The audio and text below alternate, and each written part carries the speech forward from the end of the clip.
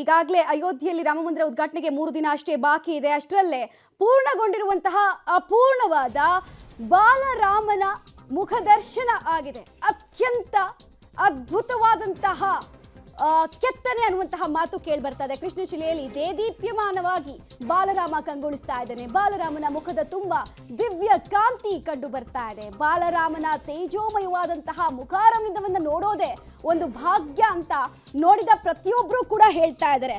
ಅತ್ಯಂತ ಅಪೂರ್ವವಾಗಿರುವಂತಹ ಮೂರ್ತಿ ಕೆತ್ತನೆ ಇದು ಅಂತ ಬಣ್ಣಿಸ್ತಾ ಇದ್ದಾರೆ. ನೋಡ್ತಾ ಇದ್ದೀರಾ? ಮುಖದಲ್ಲಿರುವಂತಹ ತೇಜಸ್ಸು, ಸೌಮ್ಯವಾದ ವದನ, ಉಬ್ಬಿರುವಂತಹ ಕೆನ್ನೆ, ಕಮಲದಂತಹ ಕಣ್ಣುಗಳು, ತುಟಿಯಲ್ಲಿರುವಂತಹ ಲಾಸ್ಯ, ಆ ಕಣ್ಣುಗಳಲ್ಲಿ ಅಂತಸತ್ವವನ್ನು ಎಂಥವರಲ್ಲೂ ಕೂಡ ಜಾಗೃತಗೊಳಿಸುವಂತಹ ಒಂದು ನೋಟ ಇದೆ, ಜೀವಂತಿಕೆ ಇದೆ. ಇಡೀ ವಿಗ್ರಹದ ಅತ್ಯಂತ ವಿ- ಮುಖ್ಯವಾದ ವಿಚಾರ ಅಂತ ಹೇಳಿದ್ರೆ, ಇಡೀ ಮೂರ್ತಿಯಲ್ಲಿ ಜೀವಂತಿಕೆ ಇದೆ. ಎದ್ದು ಬಂದು ನಿಂತಿದ್ದಾನೇನೋ ಬಾಲರಾಮ ಅಂತ ಅನಿಸ್ತಾ ಇದೆ. ಆಮೇಲೆ ನೋಡಿದಷ್ಟು ಇನ್ನಷ್ಟು ನೋಡಬೇಕು ಅನ್ನುವಂತಹ ಭಾವನೆ ನಮಗೆ ಗೊತ್ತಿಲ್ಲದಂತೆ ಜಾಗೃತಗೊಳ್ತಾ ಇದೆ.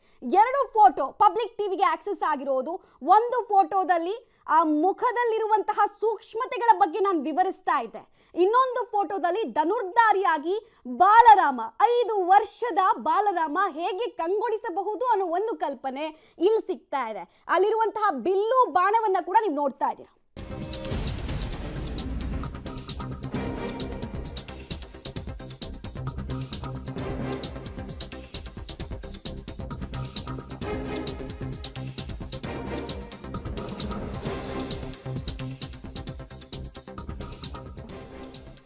ಇನ್ನು ಇಡೀ ಇದರಲ್ಲಿ ಹೆಮ್ಮೆ ಪಡುವಂತಹ ವಿಚಾರ ಅಂದ್ರೆ ಧನುರ್ಧಾರಿ ಆಗಿರುವಂತಹ ಈ ರಾಮ ಮೂರ್ತಿಯ ಕೆತ್ತನೆ ಆಗಿದ್ದು ನಮ್ಮದೇ ಕನ್ನಡಿಗನಿಂದ. ಶಿಲೆಯೂ ನಮ್ಮದೇ, ಕಲೆಯೂ ನಮ್ಮದೇ. ಈಗ ಈ ಫೋಟೋ ನೀವು ಗಮನಿಸ್ತಾ ಇದ್ದೀರಾ? ಧನುರ್ಧಾರಿ ಬಾಲರಾಮ ಹೇಗಿರ್ತಾನೆ ಅನ್ನೋ ಪರಿಕಲ್ಪನೆಗೆ ಉತ್ತರ ಇದು. ಅಲ್ಲಿ ಒಂದು ಕೈಯಲ್ಲಿ ಬಿಲ್ಲು, ಇನ್ನೊಂದು ಕೈಯಲ್ಲಿ ಬಾಣ ಇರೋದನ್ನು ಗಮನಿಸ್ತಾ ಇದ್ದೀರಾ?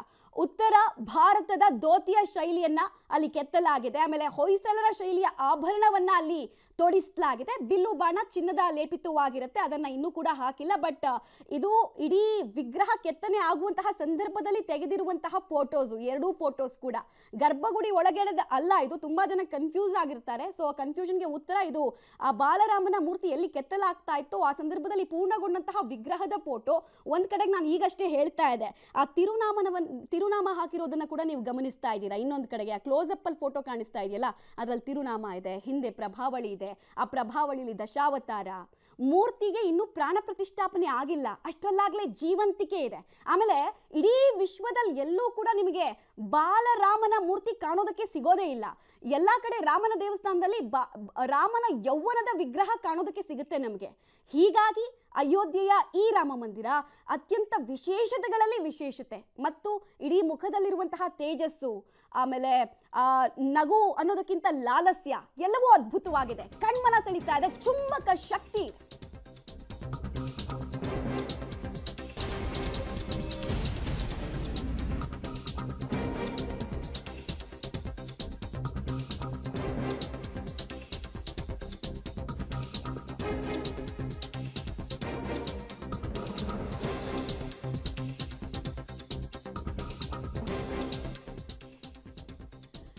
ಇನ್ನು ನಾವೀಗಷ್ಟೇ ಹೇಳ್ತಾ ಇದ್ವಿ, ಬಾಲರಾಮನ ಆ ವಿಗ್ರಹದ ವಿಶೇಷತೆ ಏನು ಅಂತ. ಬಾಲರಾಮನ ಶಿರದ ಮೇಲೆ ಪರಮೇಶ್ವರನಿಗೆ ಸ್ಥಾನ ಕೊಡ್ಲಾಗಿದೆ.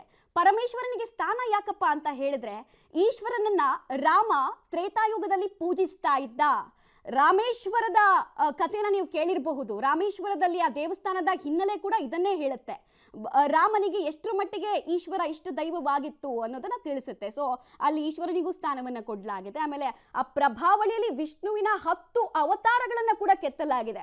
ಹತ್ತು ಅವತಾರ ಯಾವುದು ಅಂತ ಕೇಳಿದ್ರೆ, ಮತ್ಸ್ಯ, ಕೂರ್ಮ, ನರಸಿಂಹ, ವಾಮನ ಬಲರಾಮ, ಬುದ್ಧ, ಕೃಷ್ಣ ಈ ಥರ ಅನೇಕ ಅವತಾರಗಳನ್ನ ಕೆತ್ತಲಾಗಿದೆ. ಜೊತೆಗೆ ವಿಷ್ಣುವಿನ ಆಯುಧಗಳು ಅಂತ ನಾವು ಹೇಳ್ತೀವಲ್ಲ, ಶಂಖ, ಚಕ್ರ, ಗದ ಇದಕ್ಕೂ ಜಾಗ ಕೊಡಲಾಗಿದೆ. ಮತ್ತೆ ಇಡೀ ಸೃಷ್ಟಿಯ ಸಂಕೇತ ಸನಾತನ ಧರ್ಮದಲ್ಲಿ ಯಾವುದು ಅಂತ ಕೇಳಿದ್ರೆ ಅದು ಕಮಲ ಅಂತ ಎಲ್ಲರೂ ನಂಬಿದ್ದಾರೆ. ಸೊ ಕಮಲವನ್ನ ನೀವು ಬಾಲರಾಮನ ಪಾದದ ಹತ್ರ ಹೇಗೆ ಎಷ್ಟು ಅದ್ಭುತವಾಗಿ, ಮನೋಜ್ಞವಾಗಿ ಕೆತ್ತಿದ್ದಾರೆ ಅನ್ನೋದನ್ನ ಕೂಡ ನೀವು ಈ ಎರಡೂ ಫೋಟೋಸ್ ಅಲ್ಲಿ ಕಾಣೋದಕ್ಕೆ ಸಿಗುತ್ತೆ ನಮಗೆ. ಆಮೇಲೆ ನಾನು ಈಗಷ್ಟೇ ಹೇಳ್ತಾ ಇದ್ನಲ್ಲ, ಯಾವ್ಯಾವ ವಿಷ್ಣುವಿನ ಹತ್ತು ಅವತಾರಗಳಲ್ಲಿ ಒಂದಷ್ಟನ್ನ ಎಕ್ಸ್ಪ್ಲೈನ್ ಮಾಡೋ ಕೆಲಸವನ್ನ ಕೂಡ ನಮ್ಮ ಇಡೀ ಟೀಮ್ ಮಾಡಿದೆ. ಅಲ್ಲಿ ನೀವು ನೋಡ್ತಾ ಇರೋದು ಮಾರ್ಕ್ ಮಾಡಿ ತೋರಿಸಿದೀವಿ. ಯಾವ್ಯಾವ ಅವತಾರವನ್ನ ಎಲ್ಲೆಲ್ಲಿ ಕೆತ್ತಿದ್ದಾರೆ ಅಂತ ಹೇಳಿ. ರಾಮನ ಬಂಟ ಹನುಮನಿಗೂ ಜಾಗ ಇದೆ. ಗರುಡಕ್ಕೂ ಜ- ಜಾಗ ಇರೋದನ್ನ ಆ ಪ್ರಭಾವಳಿಯಲ್ಲಿ ಗಮನಿಸ್ತಾ ಇದ್ದೀವಿ. ಇಷ್ಟು ಮಾತ್ರ ಅಲ್ಲ ರಾಮ ಸೂರ್ಯ ಸೂರ್ಯನ ವಂಶಸ್ಥರು ಅನ್ನುವಂತಹ ಒಂದು ನಂಬಿಕೆ ಇದೆ. ಇಶ್ವಾಕು ವಂಶಸ್ಥ ರಾಮ ಅನ್ನುವಂತಹ ಒಂದು ಮಾತು. ಸೊ ಸೂರ್ಯನಿಗೂ ಕೂಡ ಅಲ್ಲಿ ಜಾಗವನ್ನ ಕೊಡಲಾಗಿದೆ. ಇದೀ ಪ್ರಭಾವಳಿಯಲ್ಲಿ ರಾಮಾಯಣದ ಅತ್ಯಂತ ಮುಖ್ಯ ವಿಚಾರಗಳನ್ನು ಸಾರೋ ಕೆಲಸ. ಸನಾತನ ಧರ್ಮದಲ್ಲಿ ವಿಷ್ಣುವಿನ ಅವತಾರಗಳ ಬಗ್ಗೆ ತಿಳಿಸುವ ಕೆಲಸವನ್ನ ಕೂಡ ಮಾಡಲಾಗಿದೆ. ಬಹಳಷ್ಟು ಜನರಿಗೆ ಇನ್ನೊಂದು ಪ್ರಶ್ನೆ ಇರ್ತಾ ಇತ್ತು. ಯಾಕೆ ಇಷ್ಟು ದೊಡ್ಡ ವಿಗ್ರಹದ ಕೆತ್ತನೆ ಬೇಕಾಯಿತು? ಸಾವಿರದ ಒಂಬೈನೂರ ನಲವತ್ತೊಂಬತ್ತರಲ್ಲೇ ಅಲ್ಲಿ ಬಾಲರಾಮ ಉದ್ಭವಿಸಿದ ಅಂತ ಹೇಳ್ತಾರಲ್ಲ, ಅದೇ ಮೂರ್ತಿನ ತೋರಿಸ್ಬೋದಾಗಿತ್ತಲ್ಲ, ಅದೇ ಮೂರ್ತಿನ ಪ್ರತಿಷ್ಠಾಪನೆ ಮಾಡ್ಬೋದಾಗಿತ್ತಲ್ಲ ಅಂತ ಒಂದು ಪ್ರಶ್ನೆ ಇರುತ್ತೆ. ಮಾನುಜಾಜ ನಮಃ.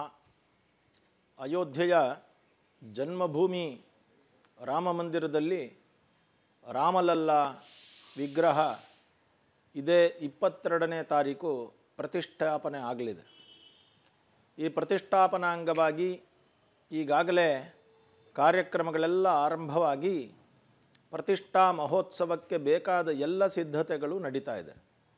ಸರಯೂ ನದಿಯಲ್ಲಿ ಸ್ನಾನ ಪಂಚಗವ್ಯಾದಿ ಶುದ್ಧಿ ಬಿಂಬಶುದ್ಧಿ, ನ್ಯಾಸಗಳು ನ್ಯಾಸ ಹೋಮಗಳು ಮತ್ತು ತತ್ವಾದಿ ಪ್ರತಿಷ್ಠೆಗಳು, ಅಧಿವಾಸಗಳು, ಪುಷ್ಪಾದಿವಾಸ, ಛಾಯಾದಿವಾಸ, ಜಲಾದಿವಾಸ ಇತ್ಯಾದಿ ಎಲ್ಲ ಪ್ರಕ್ರಿಯೆಗಳು ನೆರವೇರ್ತಾ ಇದೆ. ಈ ಮಧ್ಯದಲ್ಲಿ ಅಧಿವಾಸಗಳೆಲ್ಲ ನೆರವೇರಿದ ನಂತರ ಶ್ರೀರಾಮ ಪ್ರತಿಷ್ಠಾಪನೆಗಾಗಿ ರಾಮಲಲ್ಲಾ ಮೂರ್ತಿಯನ್ನು ಗರ್ಭಗೃಹದಲ್ಲಿ ಈಗಾಗಲೇ ತಂದು ಇರಿಸಲಾಗಿದೆ.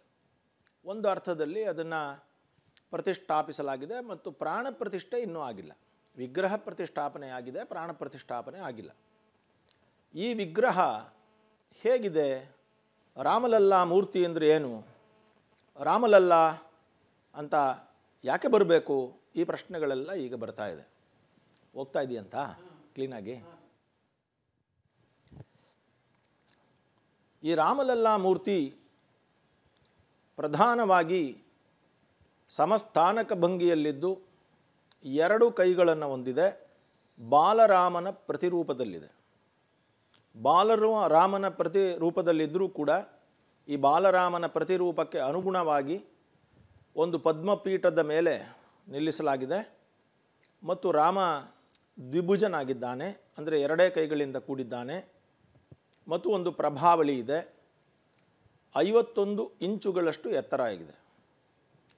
ಏನಕ್ಕೆ ರಾಮಲಲ್ಲಾ ಮೂರ್ತಿಯನ್ನು ಬಾಲರಾಮನ ರೂಪದಲ್ಲಿ ಪ್ರತಿಷ್ಠಾಪಿಸಲಾಯಿತು? ಮತ್ತು ಯಾಕೆ ಇದು ಐವತ್ತೊಂದು ಇಂಚು ಇದೆ?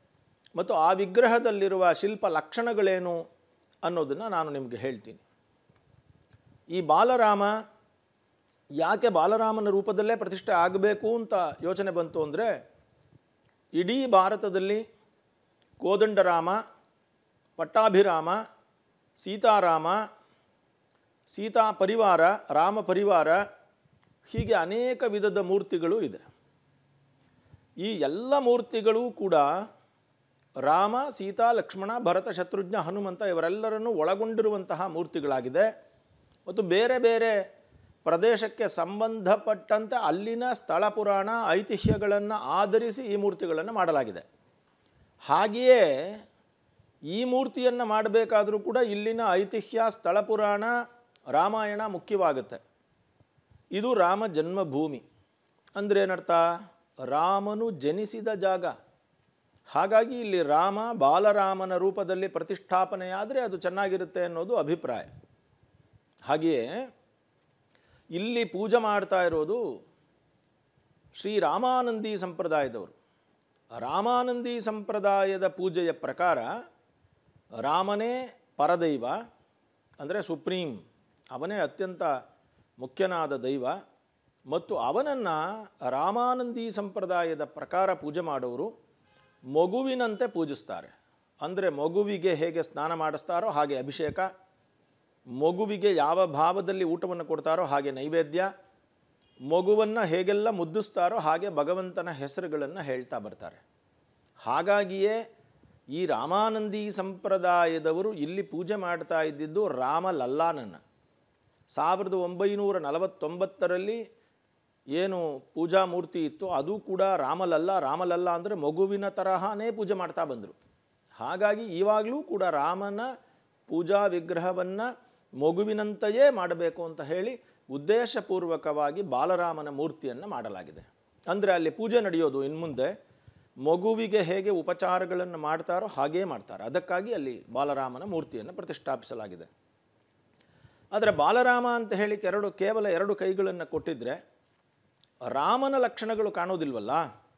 ಅದಕ್ಕಾಗಿ ಬಿಲ್ಲು ಮತ್ತು ಬಾಣಗಳನ್ನು ಕೊಡೋದಕ್ಕೋಸ್ಕರ ಕೈಯಲ್ಲಿ ವ್ಯವಸ್ಥೆಯನ್ನು ಮಾಡಿದ್ದಾರೆ. ಒಂದು ಕೈಯಲ್ಲಿ ಹೀಗೆ ಅಭಯ ಮುದ್ರೆಯನ್ನು, ಒಂದು ಕೋದಂಡ ಮುದ್ರೆಯನ್ನು ಹಿಡಿದಿದ್ದಾನೆ. ಅಲ್ಲಿ ಅಲಂಕಾರದಲ್ಲಿ ಬಿಲ್ಲು ಮತ್ತು ಬಾಣಗಳನ್ನು ತೋರಿಸಲಾಗುತ್ತೆ. ಅವಾಗೇನಾಗುತ್ತೆ ಬಾಲರಾಮನಾದರೂ ಕೂಡ ರಾಮ ಅನ್ನೋದು ನಮಗೆ ಕಂಡುಬರುತ್ತೆ. ಹಾಗೆಯೇ ರಾಮ ಯಾರು?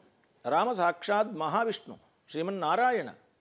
ಅದನ್ನು ತೋರಿಸೋದಕ್ಕೋಸ್ಕರ ಅವನ ಇಬ್ಬರು ವಾಹನಗಳಾದಂತಹ ನಾರಾಯಣನಾಗಿದ್ದಾಗ ಗರುಡ ಮತ್ತು ರಾಮನಾಗಿದ್ದಾಗ ಹನುಮ. ಹಾಗಾಗಿ ಗರುಡ ಮತ್ತು ಹನುಮ ಎರಡೂ ಕೂಡ ವೈಷ್ಣವ ಚಿಹ್ನೆಗಳು, ವೈಷ್ಣವ ವಾಹನಗಳು ಅವರು. ಆದ್ದರಿಂದ ಒಂದು ಭಾಗದಲ್ಲಿ ಗರುಡ, ಒಂದು ಭಾಗದಲ್ಲಿ ಹನುಮಂತನನ್ನು ಅಳವಡಿಸಲಾಗಿದೆ.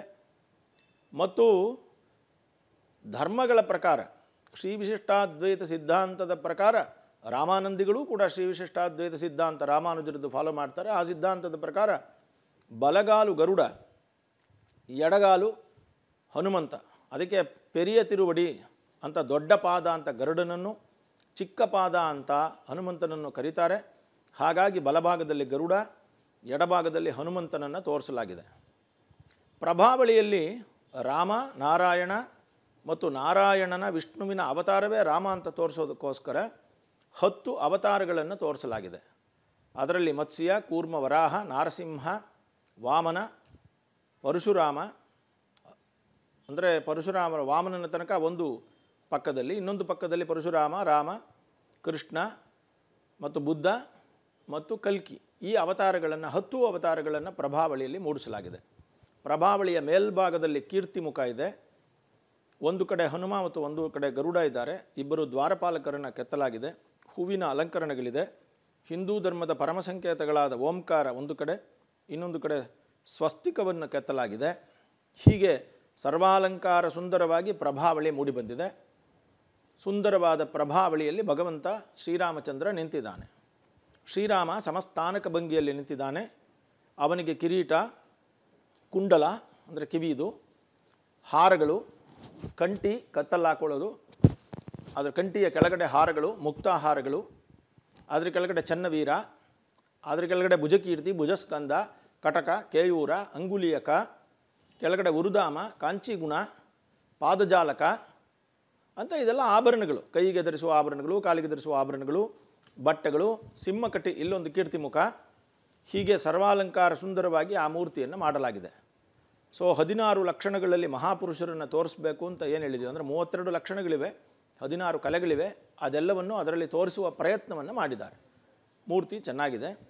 ಸೊ, ರಾಮಲಲ್ಲಾ ಮೂರ್ತಿಯ ಪ್ರಾಣ ಪ್ರತಿಷ್ಠಾಪನೆಯು ಇದೇ ತಿಂಗಳ ಜನವರಿ ಇಪ್ಪತ್ತೆರಡನೇ ತಾರೀಕು ಮೃಗಶಿರಾ ನಕ್ಷತ್ರದ ಒಂದು ಸಂಜೀವಿನಿ ಮುಹೂರ್ತ, ಅಭಿಜಿನ್ ಮುಹೂರ್ತದ ಮಧ್ಯಭಾಗದಲ್ಲಿ ಬರುವ ಸಂಜೀವಿನಿ ಮುಹೂರ್ತ ಅನ್ನುವಂತಹ ಮುಹೂರ್ತ ಆ ಮುಹೂರ್ತದಲ್ಲಿ ಶುದ್ಧವಾಗಿದೆ. ಗುರುವಿನ ಬಲ ಇದೆ. ಎಲ್ಲ ಇರುವಂತಹ ಒಂದು ಜಾಗದಲ್ಲಿ ಮುಹೂರ್ತವನ್ನು ನೋಡಿ ಪ್ರತಿಷ್ಠೆಗೆ ಮಾಡಿದ್ದಾರೆ. ಇದರಿಂದ ರಾಮಲಲ್ಲಾ ಪ್ರತಿಷ್ಠೆಯ ಮೂಲಕ ಭಾರತದಲ್ಲಿ ಒಂದು ಆದರ್ಶ ಸಂಸ್ಕೃತಿ ಮತ್ತು ಹಿಂದೂ ಸಂಸ್ಕೃತಿಯ ಪುನರುತ್ಥಾಪನ ಮತ್ತು ಆ ಧರ್ಮದ ಮುಖ್ಯವಾದಂತಹ ಆದರ್ಶಗಳು ಎಲ್ಲರಿಗೂ ತಲುಪುತ್ತೆ ಅನ್ನುವಂತಹದ್ದನ್ನು ಭಾವಿಸಲಾಗಿದೆ.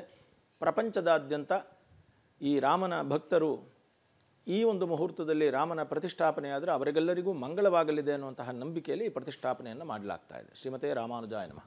ಗಮನಿಸ್ತಾ ಇದ್ವಿ, ಬಾಲರಾಮನ ಆ ಮೂರ್ತಿಯ ಕೆತ್ತನೆಯ ವಿಶೇಷತೆಗಳನ್ನು ಅತ್ಯಂತ ಅರ್ಥಗರ್ಭಿತವಾಗಿ ವಿವರಿಸ್ತಾ ಇದ್ರು.